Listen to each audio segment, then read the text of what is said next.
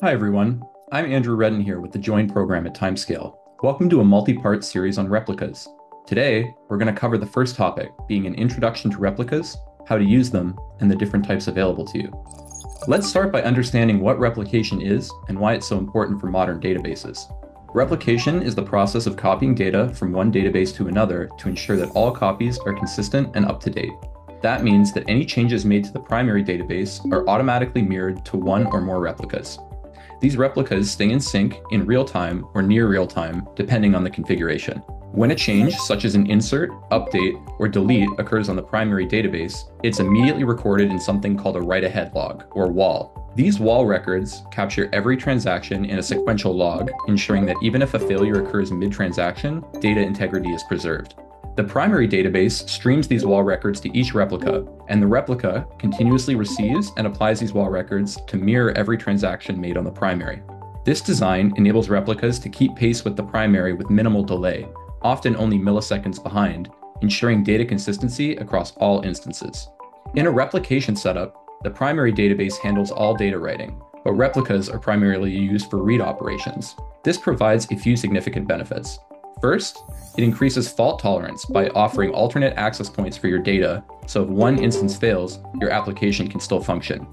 Replication also improves scalability. By distributing read operations across multiple replicas, we can serve more users or handle higher volumes of data, all without overloading the primary.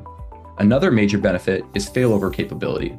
HA replicas allow you to switch over to a backup copy if the primary database goes down, helping to minimize downtime in critical situations. Overall, replication enhances data availability, making sure your data is accessible, reliable, and ready for your application to use at any time. In Timescale, we support two main types of replicas read replicas and high availability or HA replicas, each with its own specific role. A read replica is designed to handle read only queries. This helps balance the load by allowing your primary database to focus on write operations while the read replica takes on tasks like analytics, reporting, and other read-heavy processes. This approach is especially beneficial in scenarios where you have a large number of users accessing your data, as it prevents the primary from getting overwhelmed with read requests, improving your overall performance. The read replica can be configured with more or fewer resources than the primary, and acts as a separate service with its own connection string. Read replicas can be used for internal use cases and empower analysts who need up to date production data by creating a sandbox environment that is separate from production. On the other hand, high availability or HA replicas focus on reliability and resilience. An HA replica is a standby copy of your primary database that is kept in sync, ready to take over automatically if your primary database becomes unavailable. This is crucial for disaster recovery as it ensures minimal downtime and maintains data integrity if an issue arises. Timescale even runs these instances in separate availability zones within a cloud region. Even if an entire AZ goes offline, the Timescale DB still experiences almost zero downtime. HA replicas also work to minimize any outages associated with user reconfiguration, plan maintenance, and server, disk, and availability zone failures. By leveraging HA replicas, we can reduce recovery time from minutes to hours down to mere seconds.